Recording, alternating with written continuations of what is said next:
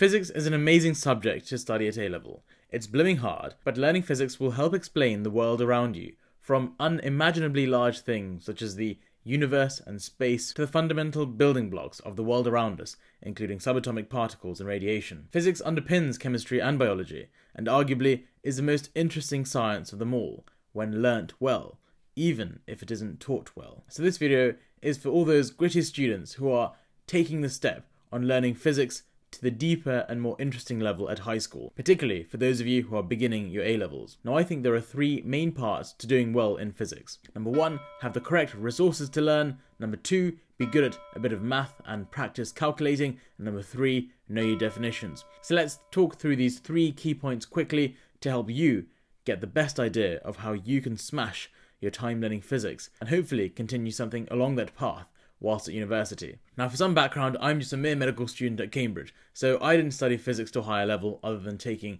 a few physics modules for my engineering intercalation. However, although it was hard, I enjoyed physics so much during my school years that I'm making these videos to help those of you who are going through the same journey as me do better in the subject and get the grades that really reflect upon the passion you have for the subject. So the first thing is having the correct study resources. You've got to find a few resources that'll help you understand all of the principles in a variety of different ways. Even for the most complex of physics topics, if you read the textbook, read a student support guide, watch a YouTube tutorial, and do some practice papers, then generally learning about this one topic in four different ways will help you understand it. And I promise with time and this approach you will. So the things to dig out are your official physics textbook by your exam board, few student support guides that are specific to your exam board. Now, these student support guides are really useful because they are distilled versions of your textbook.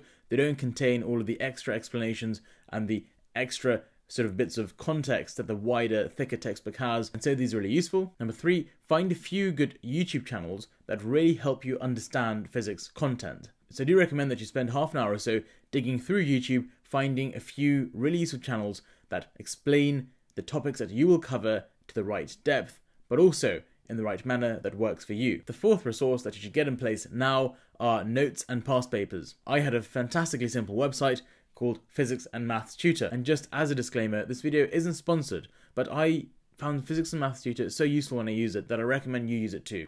They've taken the past papers and for some exam boards they've broken it up into topics only questions. And so, for example, if you do mechanics questions, then you can find all of the AQA mechanics questions in one document with the answers in another document, which means once you've learned the topics of mechanics, you can then spend a good half day going through all the different question types and understanding how to get the questions in the exam correct. On the website, I also found fantastically useful a few summary notes that were uploaded on there, but I also found another website called physbot.net that was super useful because it had all of the important equations that I needed for my course. So, like I found websites that contain notes and that contain summarized portions of my physics courses, you need to do some work and find websites that cater specifically for your courses. Now, when going through the textbooks, the student support guides, or even online notes that you found, make sure you're not just reading it. Always have some pen and paper on you whilst doing that so you can jot notes down. This makes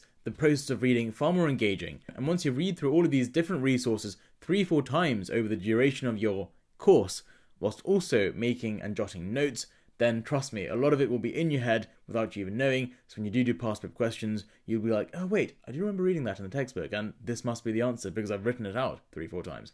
I'm not saying write out the whole textbook, but the key points, the key equations, the key definitions, just jot them down each time you read it, just to hardwire it into your brain. Imagine you've got a soldering iron, imagine your brain's a circuit, hardwire it right in there. Now, on the next really important topic of calculation practice, a lot of physics depends on the application of equation. For A level, you do need to know how to derive certain equations.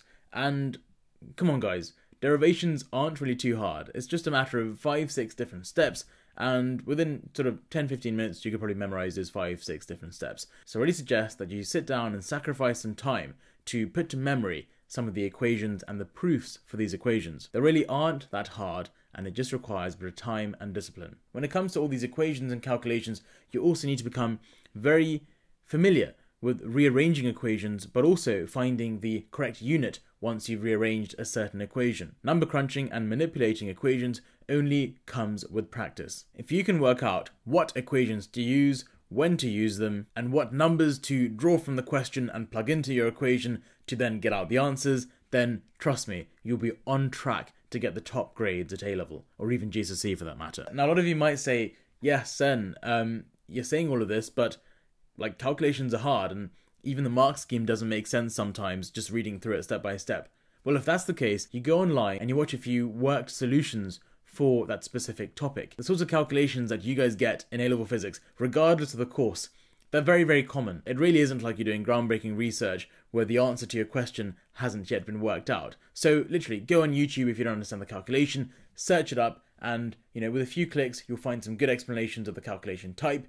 Straight after that, after you've watched a few, try and do the calculation yourself and see if you can understand the mark scheme steps. Then later on, try and do a few questions yourself without the mark scheme and make sure you're getting the correct answer.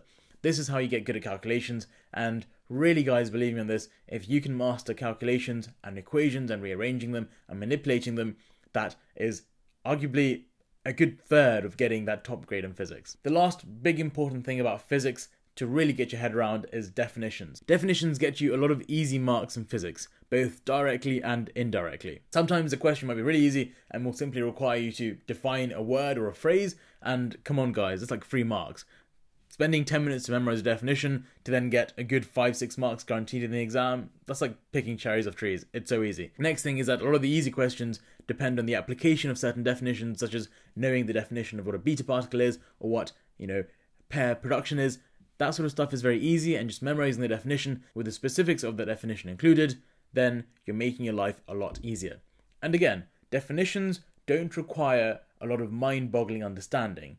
They just require you to look at the word, look at the definition, maybe look at a diagram, and just rote learn it. And like that, do that for all the definitions in your course, and that'll be one step further to getting those top grades at A level. In my opinion, physics is one of those things that are truly fascinating when you learn them. But to really be fascinated by it, you need to learn it properly.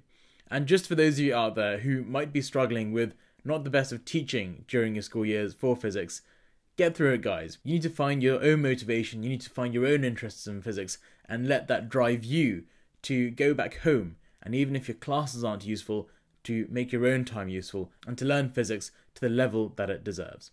So, as always, if you have any questions, then comment down below or message me on Instagram. If you like this video, please give it a big thumbs up. And if you really liked it, please do subscribe. I'm trying to get to 13,000 subscribers by October, so let's make it happen, guys. Let's set a goal. Last but not least, if you do subscribe, please hit the bell icon so you can keep up to date with all my medical studies, but also my fun revision videos that I make here and there. As always, thank you so much for watching, and I'll catch you guys soon in the next video.